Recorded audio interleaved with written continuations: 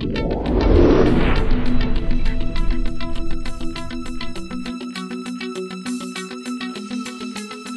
it's basic hazmat. Uh, everything we run to is, is, some type of hazmat, whether it be blood or, or fire or chemicals.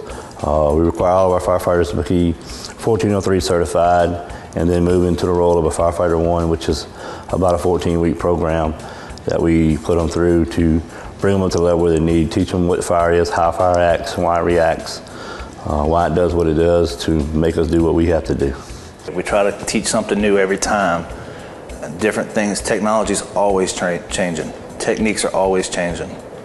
There's drills that I learned a year ago to do, now they're different. They're more energy efficient, they're more physically efficient.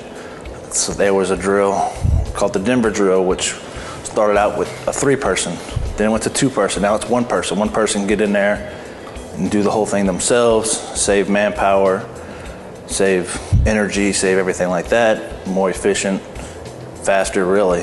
And it's just the way the fire industry is. It's always going to be that way.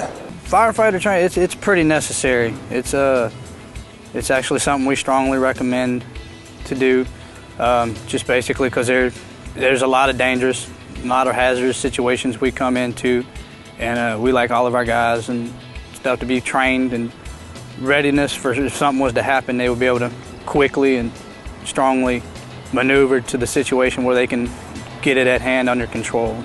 You got you got to train. You got to keep up. Uh, technology changes every day. Cars change every day. They uh, add more airbags and stuff to cars every day. So we got to keep up with the technology that's coming.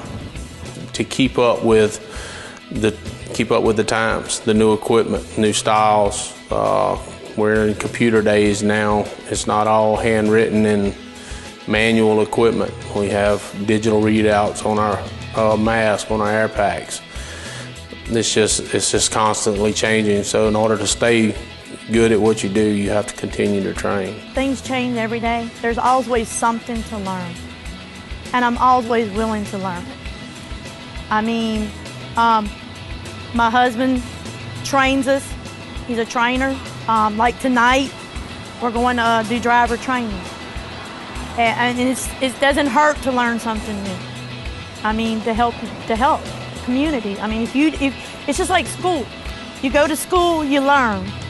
Firefighting is school. There's always a class. There's always something to learn.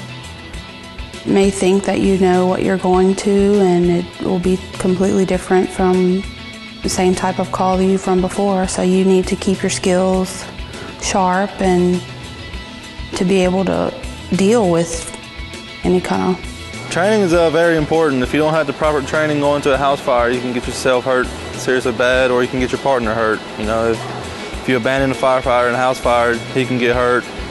You don't have the proper training and do the wrong thing, you can hurt yourself badly or hurt someone else.